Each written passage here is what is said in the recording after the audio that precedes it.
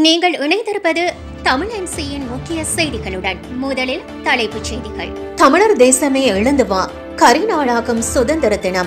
பாரிய மக்கள் பேரணி. அரசு ஊழியர்களுக்கு பேரிடி. வேலை இழக்க போகும் ஆயிரக்கணக்கானோர். பல்கலைக்கழகங்களில் கல்வி கற்ற ஆறு பீக்குகளின் மோசமான செயல். போர்க்குற்றம் சுமத்தப்பட்ட அதிகாரிகளை சர்வதேச குற்றவியல் நீதிமன்றத்தில் முன்னிலைப்படுத்த வேண்டும். உக்ரைன் எஃப் பதினாறு போர் விமான கோரிக்கை நிராகரித்த அமெரிக்க அதிபர் பைடன். தேசமே எழுந்து வா கரிநாளாகும் சுதந்திர தினம் பாரிய மக்கள் பேரணி. வடக்கிலிருந்து கிழக்கை நோக்கி தமிழர் தேசம் எழுந்து வா என்ற கருப்பொருளில் இலங்கையின் சுதந்திர நாளான பிப்ரவரி மாதம் நான்காம் தேதி கரிநாள் பேரணி இடம்பெறவுள்ளது. வடக்கு கிழக்கு பல்கலைக்கழக மாணவர் ஒன்றியத்தின் ஏற்பாட்டில் யாழ் பல்கலைக்கழகத்தில் ஆரம்பமாகும் இந்த பேரணி மட்டக்களப்பில் ஏழாம் திகதி நிறைவுறும் தமிழ் மக்களின் அடிப்படை உரிமைக்காக பல்கலைக்கழக மாணவர் ஒன்றியத்தின் ஏற்பாட்டில் இந்த பேரணி ஒழுங்கமைக்கப்படவுள்ளது. பேரணிக்கான ஆதரவு கோரி சிவில் சமூகத்தினர் மாணவர்கள் மத தலைவர்கள் பலதரப்பட்டவர்களையும் மாணவர் ஒன்றியத்தினர் மாவட்டம் தோறும் சந்தித்து வருகின்றனர். யாழ்ப்பாண பல்கலைக்கழக முன்றலிலிருந்து ஆரம்பமாகி கிளிநொச்சி வரையில் முதல் நாள் பேரணி நடைபெறும். மறுநாள் ஐந்தாம் திகதி கிளிநொச்சியிலிருந்து பேரணி ஆரம்பமாகி மாங்குளம் சந்தியை சென்றடையும். அதே நேரம் மன்னார் மற்றும் வவுனியாவிலிருந்து புறப்படும் பேரணிகளும் மாங்குளம் சந்தியை வந்தடைய உள்ளன. சகல பேரணிகளும் ஒன்றிணைந்து அங்கிருந்து புறப்பட்டு முல்லைத்தீவில் இரண்டாம் நாளை நிறைவு செய்யும். மூன்றாம் நாள் பிப்ரவரி மாதம் ஆறாம் திகதி முல்லைத்தீவிலிருந்து புறப்படும் பேரணி தமிழர் தாயகத்தின் சிங்கள ஆக்கிரமிப்பு பிரதேசமான தென்னமர மாவடி ஊடாகச் சென்று திருகோணமலையை சென்றடையும். நான்காவது இறுதி நாளுமான பிப்ரவரி மாதம் ஏழாம் திகதி திருகோணமலையிலிருந்து புறப்படும் பேரணி மட்டக்களப்பு காந்தி பூங்காவை சென்றடைந்து அங்கு நிறைவடையும். இதன்போது அம்பாறை மாவட்டத்திலிருந்து புறப்படுகின்ற பேரணியும் அங்கு வந்தடையும் என்று தெரிவிக்கப்பட்டுள்ளது. அரசு ஊழியர்களுக்கு பேரிடி வேலை இழக்க போகும் ஆயிரக்கணக்கானோர். அனைத்து அரசு நிறுவனங்களிலும் ஊழியர்களின் எண்ணிக்கை குறைக்கப்பட்டு வருவதாக அமைச்சர் பந்துல குணவர்தன தெரிவித்துள்ளார். அமைச்சரவை முடிவுகளை அறிவிக்கும் செய்தியாளர் சந்திப்பு இன்றைய தினம் இடம்பெற்ற நிலையில். இதில் கலந்து கொண்டு கருத்து தெரிவிக்கும் போதே அவர் இந்த விடயத்தை தெரிவித்துள்ளார். மேலும் தெரிவிக்கையில் ஒவ்வொரு நிறுவனத்திலும் மொத்த ஊழியர்களின் எண்ணிக்கையை குறைக்கும் வேலை இந்த நாட்களில் செய்யப்படுகிறது. தேவையற்ற ஊழியர்களுக்கு சுய ஓய்வு பெறும் முறையும் தற்போது நடைமுறைப்படுத்தப்பட்டுள்ளது.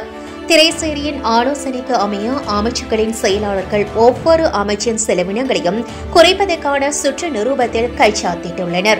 தற்போது அரசு சேவையில் இருப்பவர்களிடமிருந்து ஆட்சேர்ப்பு செய்யப்படுகிறது. பணி நீக்கம் செய்யப்பட்டவர்களை சுயமாக ஓய்வு பெறுவதற்கு அரசு அமைப்புகள் செயல்பட்டு வருகின்றன. எங்களின் கீழ் உள்ள நிறுவனங்களூடாக நிறுவனங்களுக்கு சுய ஓய்வு பெற விருப்பம் தெரிவித்தவர்களை அனுப்பும் பணியில் ஈடுபட்டுள்ளோம் என்றும் அவர் சுட்டிக்காட்டினார். பல்கலைக்கழகங்களில் கல்வி கற்ற ஆறு பிக்குகளின் மோசமான செயல். கண்டி நகரின் மத்தியில் மதுபோதையில் பிக்கு அடையாள அட்டையுடன் இருந்த ஆறு பேரை போலீசார் கைது செய்தனர். நகரின் மையப்பகுதியில் குடிபோதையில் இருந்த இவர்களின் அடையாளத்தை உறுதிப்படுத்த அடையாள அட்டைகளை கேட்ட போலீசார் அவ்வாறு செய்ய தவறியதை அடுத்து அவர்களை போலீஸ் நிலையத்துக்கு அழைத்துச் சென்று விசாரணைகளை மேற்கொண்டனர். விசாரணையின் போது அவர்கள் பல விகாரைகளில் பணிபுரியும் பிக்குகள் என்று தெரிய வந்துள்ளது. பிக்குகளின் அடையாள அட்டைகளை முன்வைத்த இந்த குழுவினர் பேராதனை மற்றும் ஜெயவர்தனபுர பல்கலைக்கழகங்களின் முன்னாள் மாணவர்கள் என்றும் தெரிய வந்துள்ளது.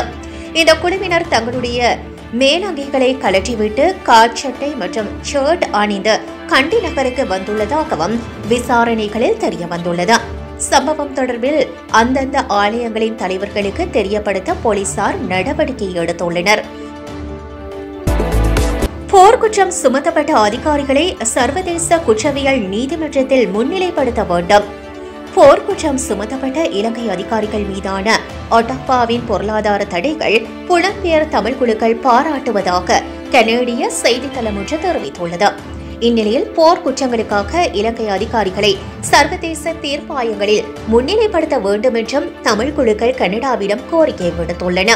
உள்நாட்டு போரின் போது மனித உரிமை மீறல்களில் ஈடுபட்டமைக்காக இந்த மாத ஆரம்பத்தில் ஒட்டாவா இலங்கையின் முன்னாள் ஜனாதிபதிகள் இருவர் மற்றும் படைத்தரப்பினர் இருவருக்கும் தடைகளை விதித்தது. இதன் மூலம் கனடா முன்மாதிரியை காட்டியுள்ளது.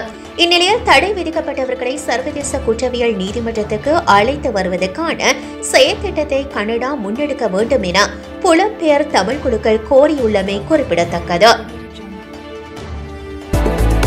உக்ரைன் எஃப் பதினாறு போர் விமான கோரிக்கை நிராகரித்த அமெரிக்க அதிபர் பைடன். உக்ரைன் ரஷ்ய யுத்தம் தீவிரமடைந்துள்ள நிலையில் உக்ரைன் அதிகாரிகள் வான்வழி பாதுகாப்புக்கு உதவுமாறு அமெரிக்காவிடம் வேண்டுகோள் விடுத்துள்ளனர். குறித்த வேண்டுகோளுக்கு பதிலளித்துள்ள அமெரிக்க அதிபர் ஜோ பைடன் வான்வழி பாதுகாப்பை காக்க உக்ரைனுக்கு எஃப் பதினாறு போர் விமானங்களை அனுப்ப முடியாது என்று தெரிவித்துள்ளார். உக்ரைனுக்கு அமெரிக்கா குறித்த போர் விமானங்களை வழங்குமா என எழுப்பப்பட்ட கேள்விகளுக்கு பதிலளிக்கும் போது அதிபர் பைடன் இதனை தெரிவித்துள்ளார். எஃப் பதினாறு ஜெட் விமானங்கள். உலகின் சிறந்த போர் விமானங்களில் ஒன்றாக உள்ளதுடன் இந்த வகை போர் விமானங்களை பெல்ஜியம் மற்றும் பாகிஸ்தான் போன்ற நாடுகள் வைத்திருக்கின்றன. இந்நிலையில் தனது வான்பரப்பினை கட்டுப்பாட்டுக்குள் வைத்திருப்பதற்கு உக்ரைன் அமெரிக்காவிடம் குறித்த விமானங்களை கோரியிருந்தது. இதற்கு அமெரிக்க அதிபர் ஜோ பைடன் உக்ரைனுக்கு வேறு வகை ராணுவ உதவிகளை வழங்க எதிர்பார்த்துள்ளதாகவும் எஃப் பதினாறு ஜெட் விமானங்களை வழங்க முடியாது என்றும் தெரிவித்துள்ளார். தொடர்ந்தும் எமது செய்திகளுடன் இணைந்திருங்கள்.